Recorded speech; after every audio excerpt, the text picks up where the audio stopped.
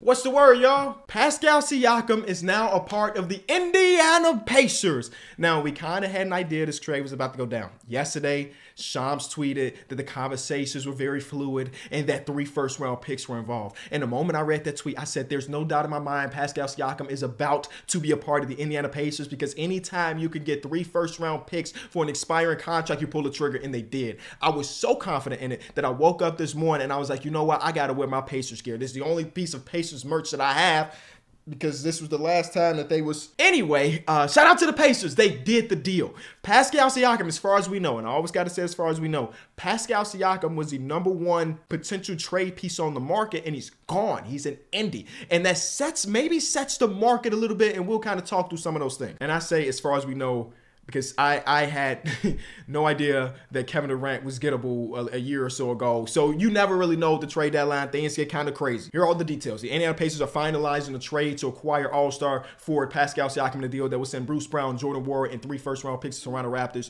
New Orleans will be a third team in the deal, sending Kira Lewis to the Raptors. Three seconds on that every NBA tax nerd in the world knew that the Pelicans were going to trade Kira Lewis to give them under the tax, and they did that in this deal. Now, Indiana is sending two 2024 first round picks and a 2026 first round pick to the Raptors. One of those picks is their actual pick, and then another one is the worst of a Utah, Houston, Clippers, OKC pick, which is going to be at the tail end of the first round because OKC and the Clippers are both very good basketball teams. All right, so those are all of the details. And that 2026 first round pick, because it's been about an hour since the trade has gone down, it doesn't like there's any protection, so that's completely unprotected. And again, we mentioned that the Indiana pick is unprotected too, but the Pacers are are a playoff team at the moment and acquiring Pascal Siakam, you would assume that stays the case. So we're talking about some picks from the Indiana perspective that maybe not something you care about whatsoever. Because you don't pull off this type of trade without the assumption that you're going to be able to retain Pascal Siakam. Now, if that's not the case and Pascal walks in free agency, then we look at this trade differently. But as of right now, you gave up Bruce Brown, who you gave that bag to this offseason. A lot of people question that he's been looking pretty good, but it wasn't a guaranteed contract for the future. You turn that plus Jordan Nwora, who's sometimes in the rotation, sometimes not in the rotation, to pa- Pas- Pascal Siakam? Oh, it's going to fit like a glove. A lot of y'all know that the Indiana Pacers, as of right now, are the best offensive team in the history of basketball. It's kind of skewed because of the pace and everything, but as of right now, that's factually true. They are the best offensive team in the history of basketball, and now they add a little bit more fuel to the fire. Again, under the assumption that Pascal will resign, this feels like a no-brainer, and it's very on brand for the Indiana Pacers to do something like this. Other than last year, because uh, because Tyrese Halliburton got injured, the Pacers has always been a team to build build towards the middle. They're never going to be really, really bad. And then boom, they're going to make some trades. They're going to do this in order to hit that next step. We saw that when they traded all-star Domantas Sabonis to the Western Conference in exchange for this, this young guard that looked pretty good throughout his first year and a half and Tyrese Halliburton. Now he has blossomed to an all-star, potentially multiple-time all-star. Not potentially. He is a multiple-time all-star. And they, they set pat on all of their assets.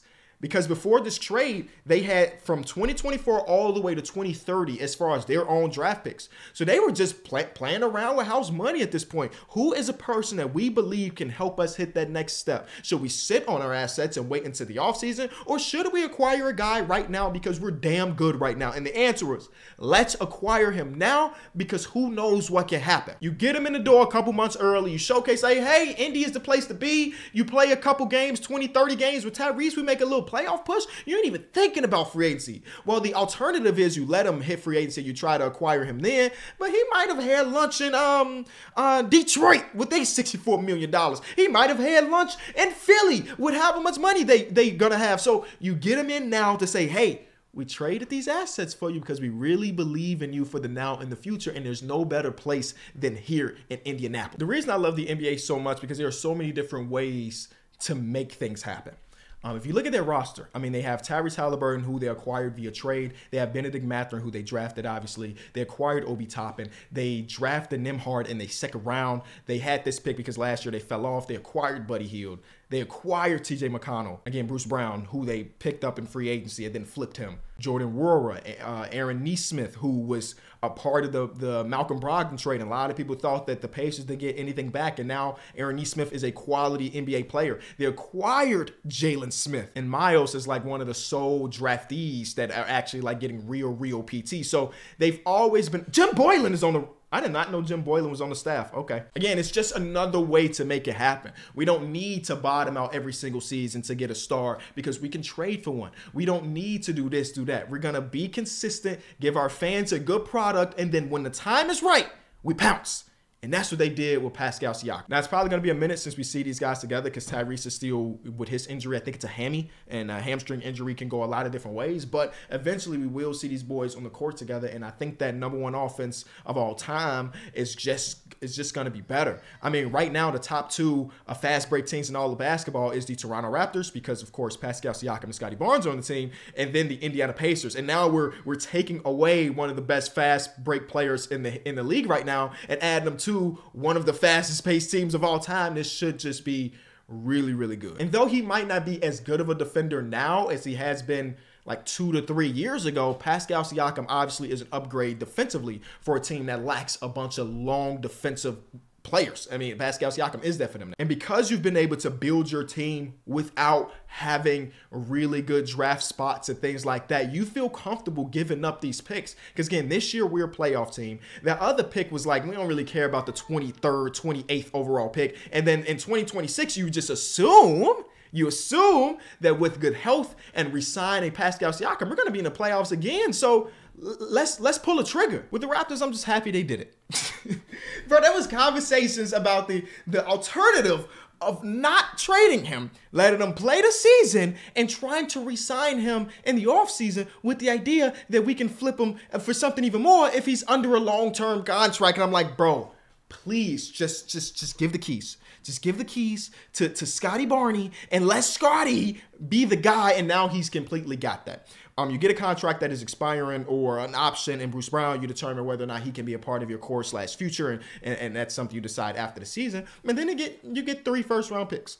The same thing we just mentioned with the Pacers, though. I mean, those picks, at least if everything goes perfectly, aren't very super valuable high picks. But who who really knows? This is an organization that that drafted OG Anunoby with the 23rd overall pick and, and, and drafted, or that they trade for Pascal Siakam on draft night. Either way, at the end of the first round, I think number 26 or 27. So they've been relatively successful in the spot. Now, recently it was like Malachi Flynn over Desmond Bane. So it hasn't been 100% hits, but this is a spot that they've been pretty comfortable with and have had success. Everybody's going to keep trying to uh, compare it to, I guess, what they could have got last season if they made the trade, but without us knowing exactly who was interested or what they were potentially willing to give up, it's hard to really say. I mean, I, I have been a guy that said that they should have made these adjustments, make these trades back last season, but better better late than never because they waited too long on Fred VanVleet and then Freddie just walked for nothing. So being somewhat proactive is better than than not, I, I guess. And now this puts you in a place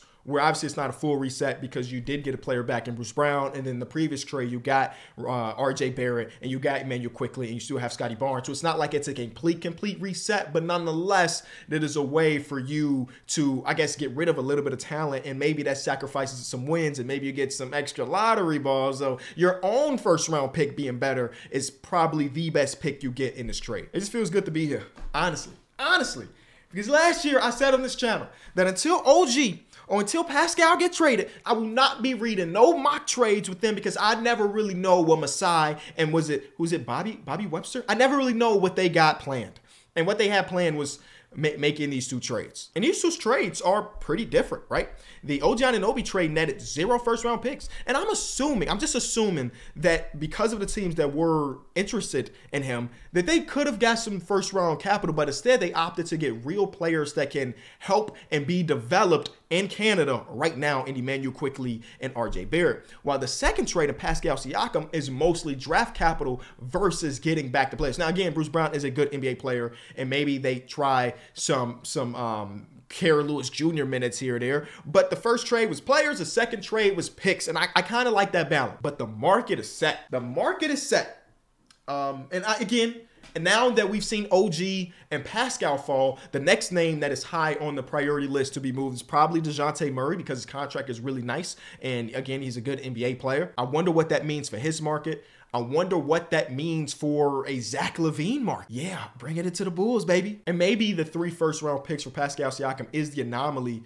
Um, but a lot of people believe that because he was an expiring deal, the return wasn't going to be too crazy, right? Um, and now that we see that those first round picks are not maybe as valuable at the as the number says, three first round picks sounds like a ton, but you think about where they're projected, maybe not that much. Maybe he's the anomaly because the Pacers have full confidence that they'll be able to resign him. I mean, here's a tweet from Mark J. Spears that said, uh, "New Pacers for Pascal Siakam just got off a phone call with Rick Carlisle and President Kevin Pritchard. Siakam maintains his bird rights with the Pacers, who are expected to resign him in free agency. Appears doubtful that he'll play uh, in the next game. But um, I like this trade a lot more for the Pacers than I do the Raptors. I think the Raptors did okay, um, but I love this trade for the Pacers because they get a guy that at, at the age of I think he's turning 30 this year, so you you get him now." Now before 30, and it doesn't feel as though Pascal Siakam's game will will translate bad in the next three years or so, because I'm assuming that contract's probably three to four years long when you resign him. He feels like a guy that will be consistently in these conversations for being an all-star caliber talent, even if he never makes it again, because the East is going to be crazy, and he will be again the number two option behind Tyrese Halliburton. Even if he never makes it again, we know that the talent is going to be there. And given that the Pacers have been a team ran this specific way, I love this a lot. I'm giving it like an A minus. And for the Raptors, I'm probably giving it closer to closer to a B, B minus. Um, because again, even though they have had success drafting in these spots, it's not like you got a pick that projects to be a lottery pick. Um, so only time will tell. I, I edited this video and I've been just thinking I'm lower on this trade for the Raptors now after editing and rethinking about it. Because there is a world that in a couple years you don't get anything tangible for Pascal Siakam, who's one of the greatest players in your franchise history. You did not get Jarace Walker, which I thought was a guarantee in the trade. You didn't get Benedict Mathurin, which is less of a guarantee. So you got three first round picks that are probably late first rounders. And obviously those are no guarantees. I think I said B minus originally. It's pr probably a C, bro. Maybe I'm being generous. I don't know. Again, only time will tell what they use the picks to get in, in, in this draft. They also traded their pick, their their own first round pick. Now that I'm thinking about it, they traded their own first round pick for Jakob Poeltl because they thought that this draft class was trash. So you just acquire, you just acquired two picks in a draft class you thought was trash last year. I, I'll talk about it more later. Haven't really been on Twitter or social media a lot today. It seems like the Warriors lost their assistant coach, Deki, um, which is I, I, didn't expect to read that right now. Um, it's unfortunate, but that's not what this video is about. Um, I was just saying my prayers to his family, to the Warriors organization, and everybody impacted by his passing. Man, that's super young. All right, um, let me know what you think about the Pacers and the Raptors deals. Um, I will be talking about it more on the Kenny Beecham podcast, a little bit more in depth when I get my mind around it in a few hours. So links is in the description to the Kenny Beecham pod.